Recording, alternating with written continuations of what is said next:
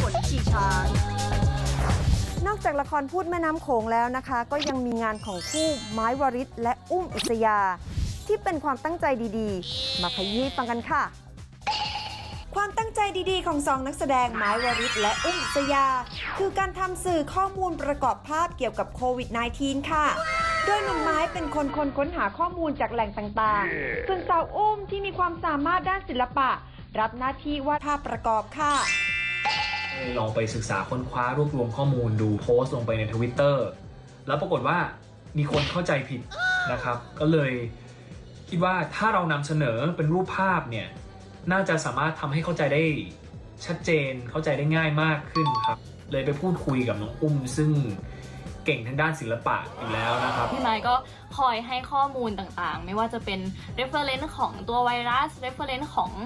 สิ่งต่างๆ ว่าเราควรจะวาดอะไรแบบไหน แล้วอุ้มก็ไปดีไซน์มาอีกทีหนึ่งค่ะทำให้อ่านสะดวกเข้าใจได้ง่ายมากขึ้นค่ะ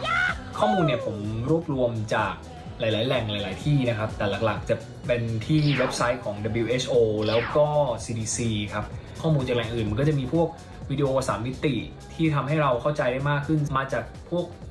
สถาบันวิจัยทางการแพทย์ สำหรับเนื้อหาในอินโฟกราฟิกชุดนี้นะคะ มีทั้งหมด 26 ภาพค่ะ แล้วก็ 3 หน้าที่เป็น reference นะคะ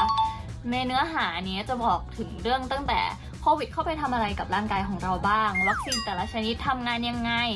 ให้ผลลัพธ์ที่เหมือนกันไหม แล้วก็ผลข้างเคียงของวัคซีนแต่ละชนิดเกิดจากอะไรค่ะ แล้วก็มีเรื่อง การกลายพันธุ์ของโควิด แล้วก็สมุนไพรไทยรักษาโควิดได้ไหมค่ะคนที่สนใจอยากจะอ่านเนี่ยผมก็โพสต์ไว้ใน Instagram ของผมแล้วนะครับน้องอุ้มก็โพสต์ไว้ด้วยนะครับแล้วก็มี Twitter ของผมก็โพสต์ไว้นะครับแล้วก็มีอ่าทาง Facebook m y r i t นะครับ